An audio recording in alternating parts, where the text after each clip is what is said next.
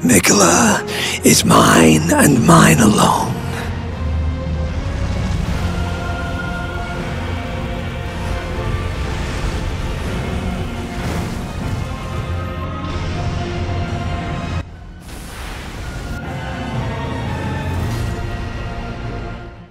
Upon defeating Mohg Lord of Blood, the player is rewarded with his remembrance, and with this, they can choose between either one of the most broken weapons in the entire game, or hot water, that leaves a trail of lingering blood flames.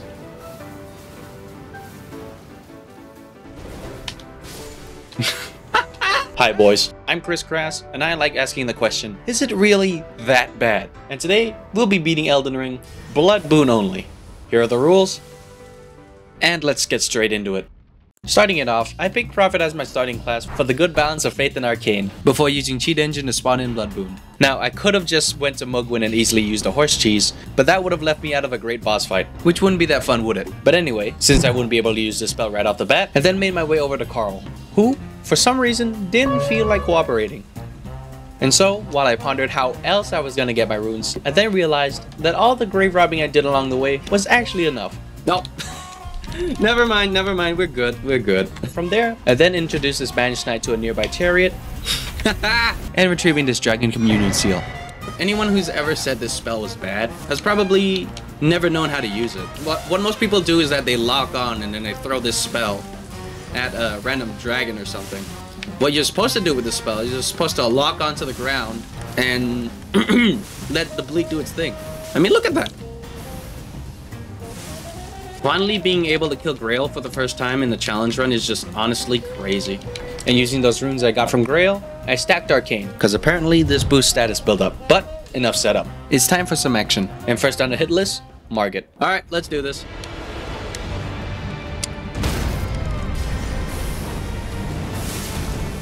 That's gonna be an issue.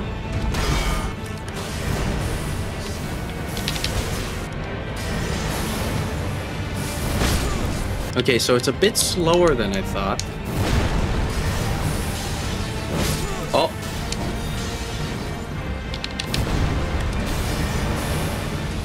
Now, I will admit, this fight was much harder than I expected. Between the spell's deceptively long windup and Margit's tendency to not stay still and or dodge. However, nothing a bit of positioning and parries couldn't fix.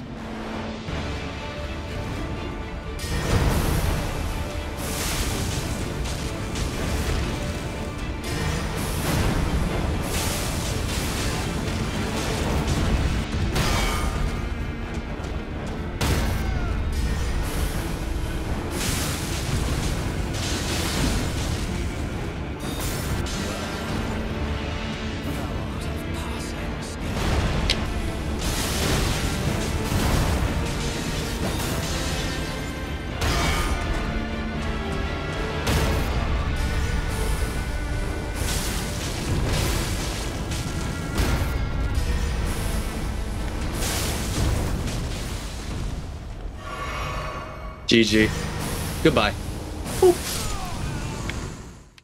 Now, where Margaret had problems staying put, Godrick on the other hand, had no such issue.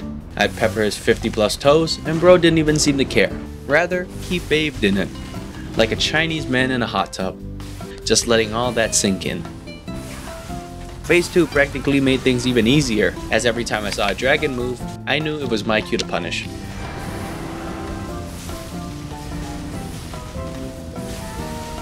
Pair that up with all the openings that carried over from phase 1, and we've got ourselves an easy first try.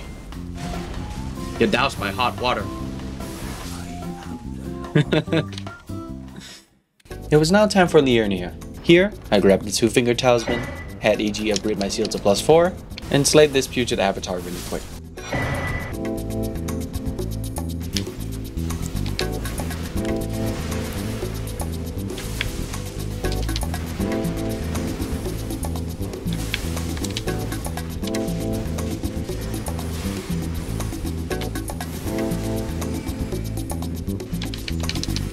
GG! Upon arriving at Renala's doorstep, I'd encounter a bit of issues with books, but more importantly, with the boss herself. And though the latter was solved by more strategically timing my shots, The same could not be said about the second phase. How do I say this? She was a bit jumpy, which would be annoying enough, but to top it off, she was also suspiciously good at punishing my openings. Ow! And I didn't like that. So, after a few unsuccessful No, no, no, attempts, no.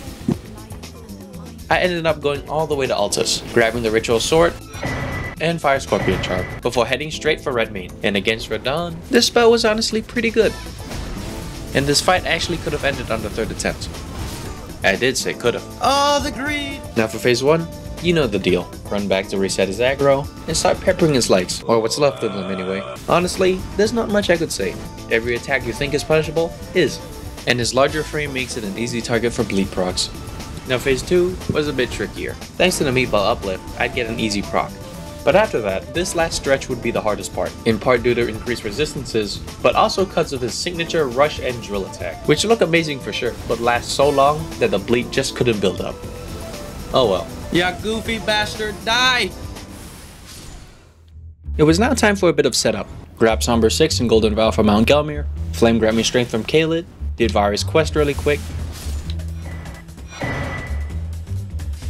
and killed this invader for the White Mask. Die already! Jesus Christ! Oh my god. Did I put it on? No. Instead, I slapped the helmet's effects on my own via cheat engine and set the weight values to match. Anyway, let me show you how to get the Flock's Talisman in 7 seconds. Nile, Gowry, Millicent, Shaded Castle, Give Arm, Godskin Apostle, Kill Amputee, Kill Their Dad, and boom, there you go. Now geared up, we then challenge Tree Senti, Dragon Flavor. Oh, Here I'd buff up, and hopefully land 3 shots. This would give me an early proc, and the fight would go on from there. Thinking about it now, I could have just cheesed him by running away and periodically jump scaring him with boiled water. God, that sounds awful. But oh well. It was here where I'd learned to free aim long range. You might be thinking, then why not just lock on? Well, you see, you'd want both the projectile and blood pool to connect for maximum impact. This can definitely be achieved while locked on. However, free aiming gives you more control over where the arc lands without the need of perfect positioning. This will come in handy much later on. this is the one. Come on, come on, come on. Nice! Let's go! With this, I then make it into the capital. And as much as I'd like to go waterboard Morgott right now, I needed a few things from the sewers. I swear to god, no other developer would ever put this much effort into what is essentially the poo-poo zone. Anyway, here I'd get myself the early Somber 7, Die. got lost in this dungeon for 20 minutes, Where the f is this dude? fighting the boss, Let's create a barrier for the dogs.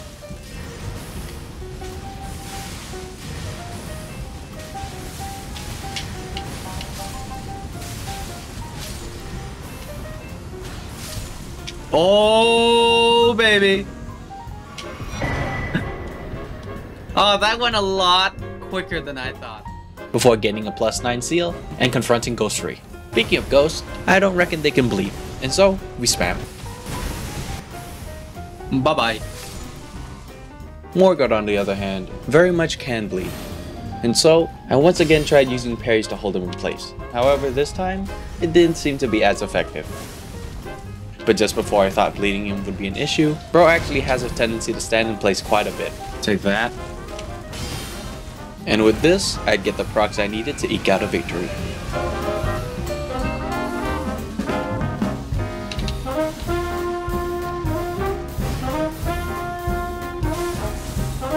Nice.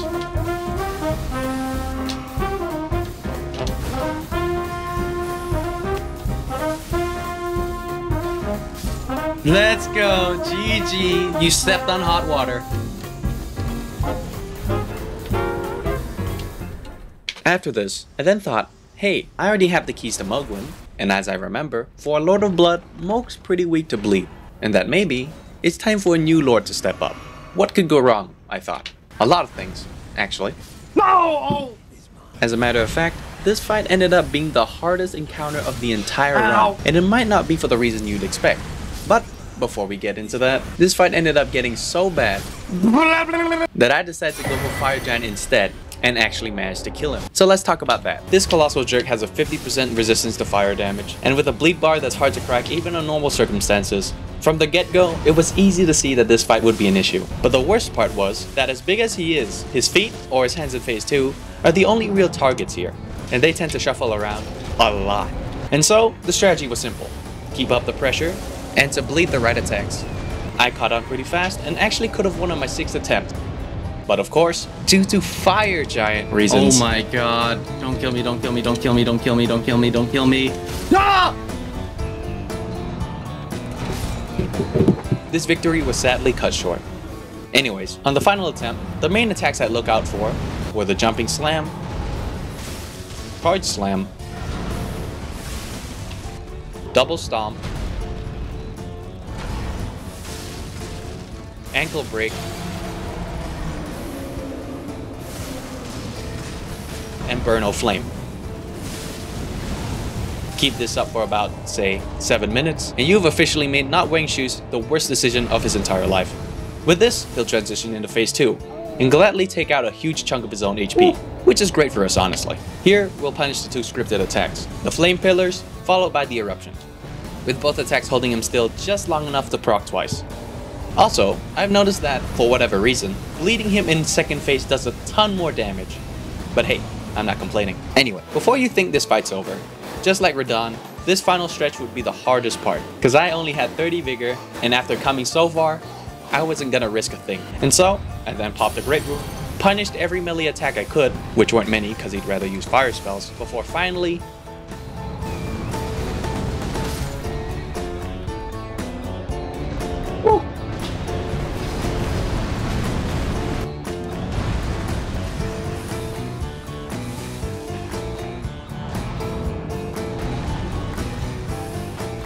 One more bleed, come on, please.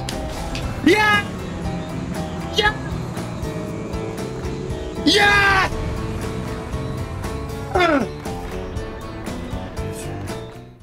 Alright, back to Moog. Now, as I mentioned, at first I thought this fight would be easy, as most of us know him to be a big, dumb, slow target. And though that is sort of true, this didn't make the fight easy.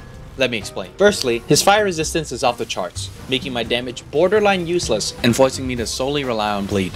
Secondly, instead of bleeding like a normal person, Moog only has 7.5% of his HP removed per proc, which might not seem like much, but if you run the numbers, you'll see that he can take about 40% more procs than the average boss. And since he regenerates roughly 30% HP at the start of phase 2, that means 130% divided by 7.5, and round that up, 18 total procs most of which will have to be done at max resistance. And as the final nail in the coffin, whenever he does decide to bleed, he also gets a 20% boost in damage for 20 seconds. Cool. Firstly, we'll need our Moog Essentials. Tear, Shackle, check. With this, we'll enter the fight. In phase 1, his openings are quite numerous, being the Fate, the Stab, the Thrust, the Count, and the Flashbang. Using these, I'd script the fight. Bleed him a minimum of 2 times, punish the countdown, Shackle, punish that, wait for him to count again, Shackle once more, and after a bit more effort, we'll drink the flask and phase 2 begins. Doing this make getting past phase 1 relatively consistent and harmless, except for when he does the blood rain, this move in particular. Anyways, here comes the hard part. Entering phase 2, Moog has already reached his max bleed resist, and though his attack openings are still numerous, the combo strings are much longer. Combine this with his tendency to fly around a lot, and this makes things very difficult to apply constant pressure, constantly interrupting the progressive buildup and grossly prolonging the fight. Honestly, the best possible move he could do is the flashbang, as it guarantees that he actually stays still for once and is our best bet to proc bleed. However, on the opposite side of the spectrum, we got this attack. And for the lack of a better term, let's call this the whip. Now there's two things you need to know about the whip. One, it's fast enough to cancel the attack. And two, it loves appearing after any combo end, presumably to punish players from heavy attacking. You know what that means? Unavoidable, guaranteed damage. This and the quick flash, which doesn't happen nearly as often, would be the biggest thorn in my side. They'd only appear about 30% of the time, but when you're in a really long boss fight, that number really starts to add up, eventually getting so bad that it practically forced me to near no-hit everything else, just so I could save the flash to tank them. Eventually though, I persevered, getting Moog one and a half bleed procs away before running out of flask and tragically dying. Ah yes, we meet again old friends. And now, time to do that all over again. But before that, here's a tip that helped me survive fighting Moog for long periods of time, and hopefully, they might help you out as well. When avoiding the blood explosions, I look to my character instead of the trident itself, dodging the initial ground stab, and as the rolling animation ends, I count 1. Let's try that again. 1. And as for the falling stab, I count 1, 2. Oh, and also, strafe the jumping slam.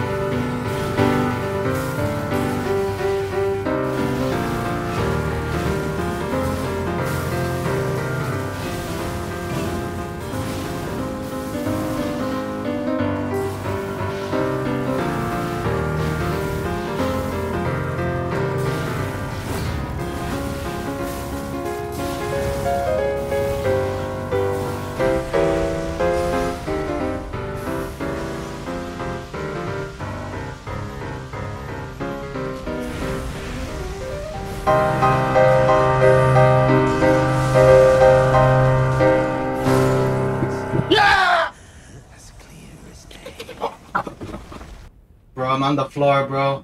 That took three hours. Ah. Ah. Give me that drip. Bro, his fit is too fresh, bro. I just need one of you.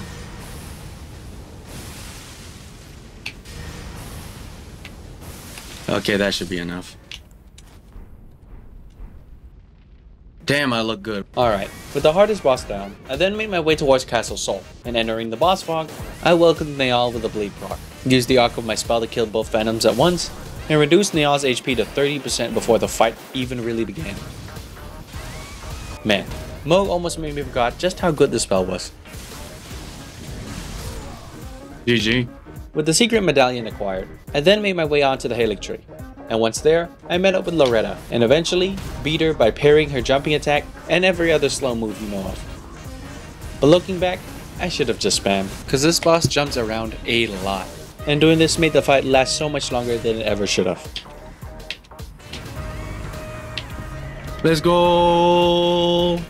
Anyways, I then got the Dragon Shield Talisman, touched Malenia's Grace, and bounced. and then resumed the main course, and on it lies noodles and dumplings. First, as always, I'll drug them, before buffing up and peppering the dumpling. Then, while he wakes up, I'll guide him to the wall and completely season that bad boy. Before going back and taking care of the noodle. Nice. From there, I'd sleep the long one and easily take care of the round one via parries and pillar.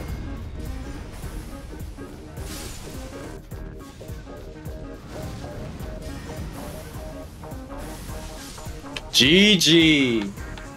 Now obviously, Maliketh was up next, but don't get your hopes up, as this was just a regular ass Maliketh fight.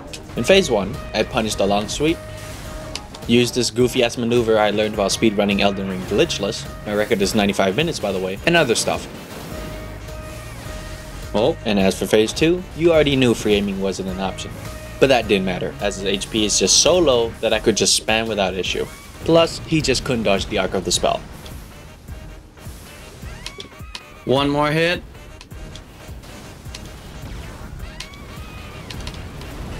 GG.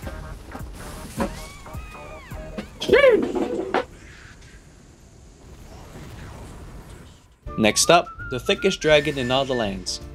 Between. Now this guy may have high bleed resist, but with a frame built like that, it doesn't even matter. Bro has the mobility stat of a boulder, and because of that, with the help of free aiming, it's near impossible to miss. And with that, we punish the lightning storm, flame breaths, and everything in between with incredible uptime. The bleed was just devouring this boss, and the fire damage wasn't even half bad. Sure, he starts teleporting a bit in phase 2, but once he starts spitting fire or summoning lightning again, it's very much the same thing. Honestly, besides that one time I died at the very end, this has got to be one of the most enjoyable ways I've ever beaten Classy. Oh, let's go!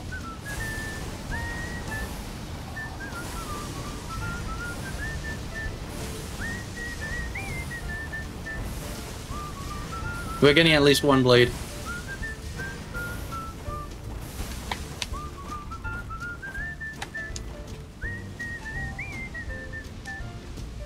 Alright, we can get two attacks off right here.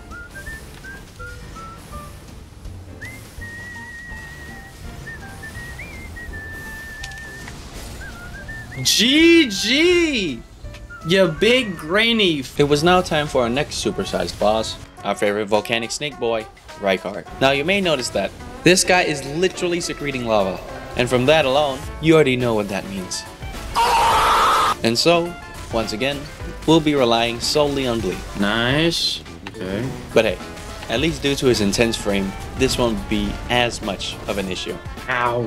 Moving on, the next biggest issue was definitely the lava stun. Oh god. A viewer of mine recommended I wear some armor and just poise through, and though that was a solid plan, after a few attempts of doing so, I thought, yeah, this is extremely lame, and settled for a different idea. I walked to the edge of the lava pool, aimed at this specific angle, and voila. This took a bit of practice, but not long after, I got the hang of it. With this, I punished the head slam, the grab, the stagger, and most commonly, the snake bites. The main idea being to dodge dimensioned attacks before creeping into position as the spell is being cast.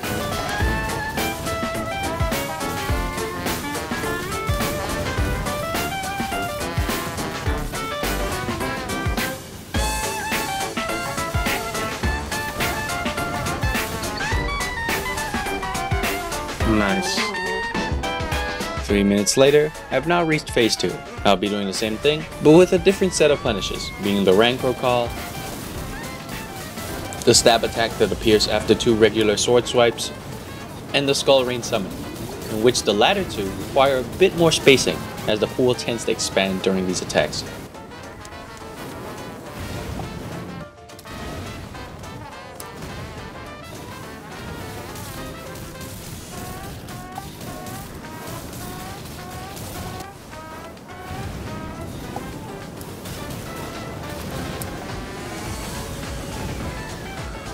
Reaching 40% HP, we've reached the final stretch. Here, the snake from phase 1 makes its return, frequently appearing mid-combo to ruin our day. At first, this just seemed a bit annoying to me. However, I then realized that this just meant even more openings to punish.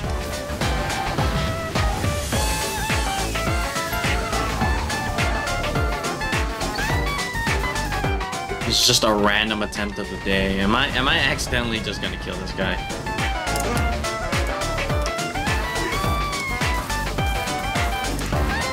Dude, ain't no way. What the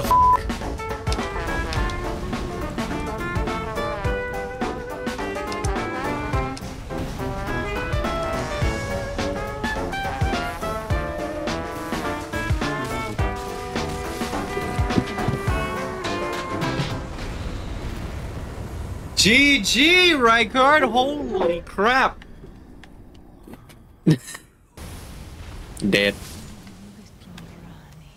Alright, one last thing before the Ashen Trio. It's Malenia time, boys. Now, I'm gonna be honest, I spent the first two hours of attempts doing what I usually do on these challenges, constantly pairing Malenia and punishing mostly her staggers, before after way too long, realizing, what am I even doing? Half the time this spell doesn't even connect, and even when it does, this is a terrible way to build up lead. I guess I'm just so used to resorting to parries that it's just become a habit at this point. Anyways, parrying became more of a defensive maneuver as I began casting the spell more frequently, punishing the up down attack, the slam, and also the Lord Walk, trying my best to land the flames just at Malenia's feet for that extra build-up. Though, blatantly spamming it wasn't a bad idea either. Malenia is weak to fire and gets caught on the arc. Phase 2 is next, and here I start off by running away and punishing the Scarlet Bloom. And before you ask, yes, free aiming is necessary. From there, the up down attack and the flower slam are my best friends. And if you're anticipating any bleed procs, give up now. Cause after scrubbing through all the footage, and I mean all of it, she only ever bled twice in phase 2. Anyway, did I mention she did the flower bomb like 4 more times?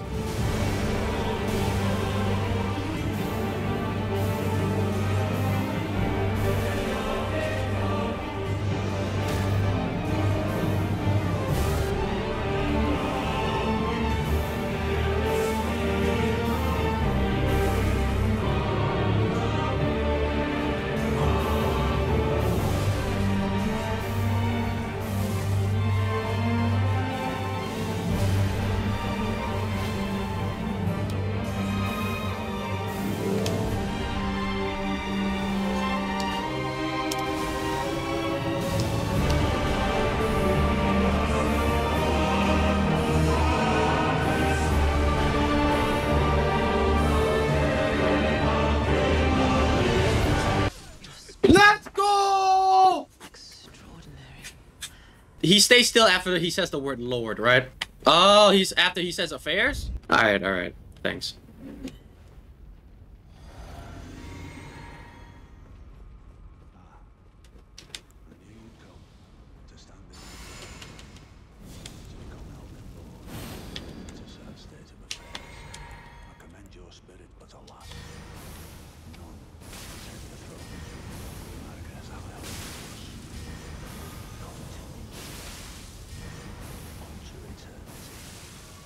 God damn it!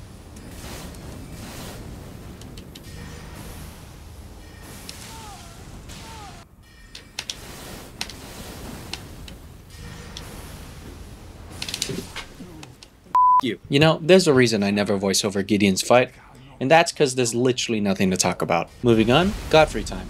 And, uh, yeah, I'm sorry to disappoint, but this spell's pretty bad against Godfrey.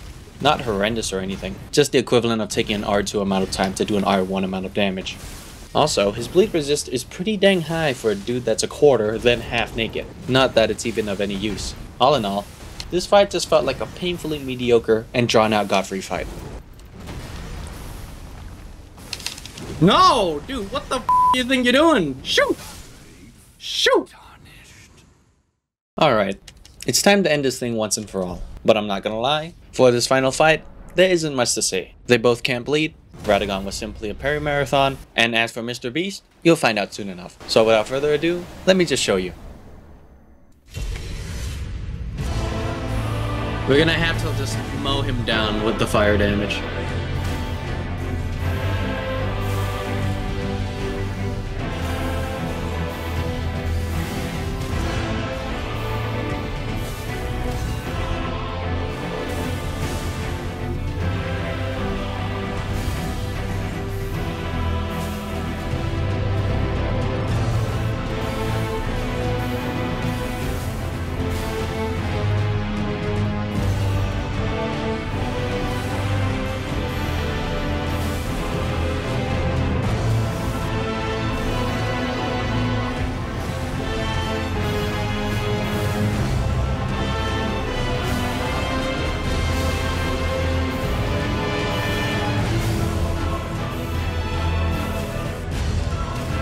Yo guys, I'm actually just really bored right now.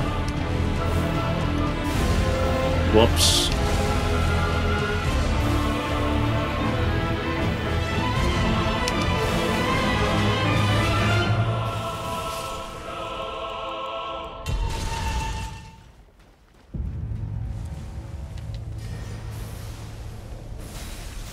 Oh god.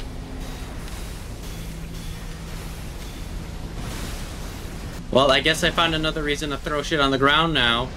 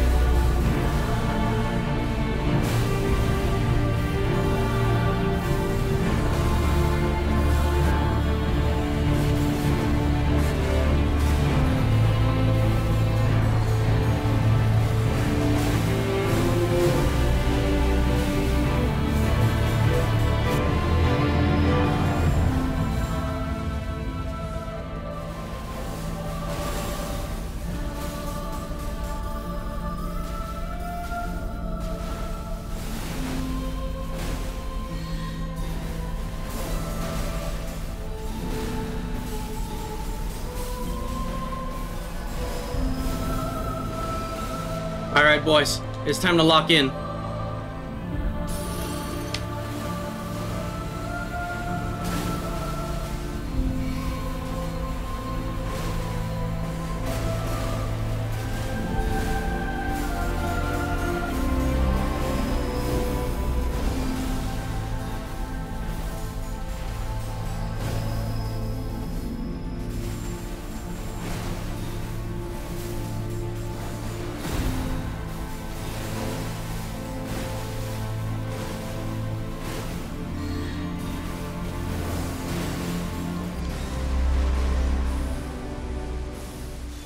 Ain't no way, buddy. Ain't no way.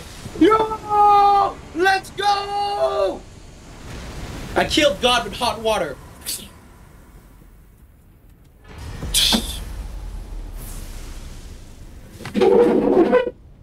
Alright boys, it's time for the review. Now, I'm gonna be completely honest. This spell is by no means OP. The cast speed is deceptively long, and though it possesses bleed, it's not even the best applier of that.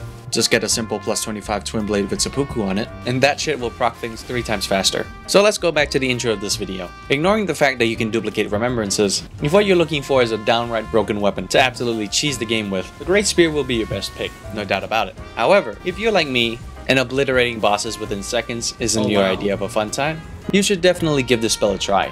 After beating the entire game with it, I can confidently say that, for a lot of it, it was quite enjoyable. Sure, it's not the fastest procer in the world, but as someone who often thinks bleed is way too OP at times, I feel this strikes a nice balance. The damage to FP ratio is also quite generous, so much so that I actually could have beaten most of the game without even free aiming, though that would have been significantly less fun. Not to mention the visuals. Just look at it. You literally rip open a portal, grab a chunk out of the Formless Mother, and douse your enemies in the boiling blood of an outer god. It does not get more metal than this, folks. Here's a few scenarios I recommend anyone could use the spell in. Whenever the Noble starts rolling, the Plasty fight, seriously, try it. It's a genuinely enjoyable way to fight him.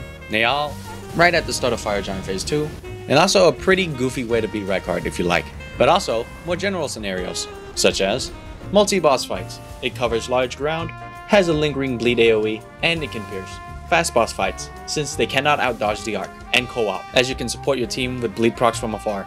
And finally, the spell's hidden talent to utterly annihilate trash mobs. Throw this at any dog, soldier, albinauric, and even some mini-bosses, and holy shit, it's just game over. They are physically unable to move, only capable of helplessly struggling before succumbing to either blood loss or third degree burns. So much so that I actually use this as a pseudo wave of gold replacement for rune farming. Anyways, enough gushing. Sure, it may not be the most beginner friendly or the most powerful thing ever, but my god is the spell fun to use. Anyone who says the spell is mediocre has never tried free aiming it, because if they did, they know that this adds an entire layer of depth to the combat. Just don't use it on Mohg. This spell gets a B for Blood Boon, and to anyone who's willing to do a bit of free aiming, I highly recommend you give this spell a try. And finally, is Blood Boon really that bad? Fuck no.